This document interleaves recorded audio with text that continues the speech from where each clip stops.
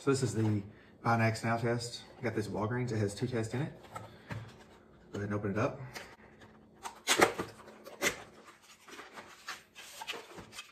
Just a tray, put all the stuff in, pull out one swab, one of the test strips, and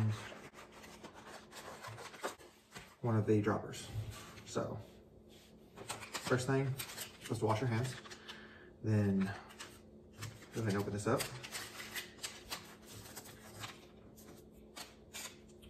So we have the test kit.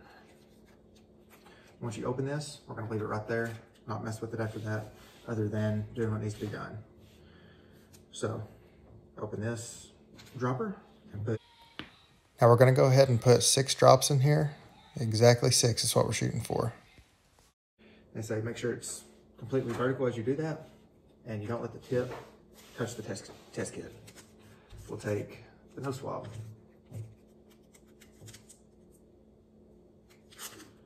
Try to only handle the stick portion, not the tip. And we're gonna go a half to three fourths of an inch up there is what the package says. So go ahead, get ready.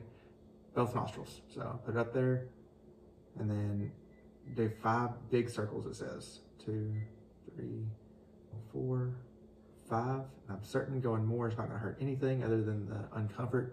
Go to the other side.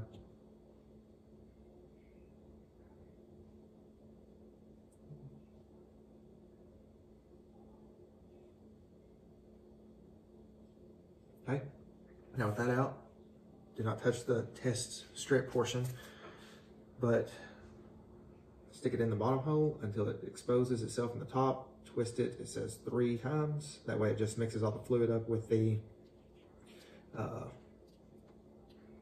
sample that you just collected.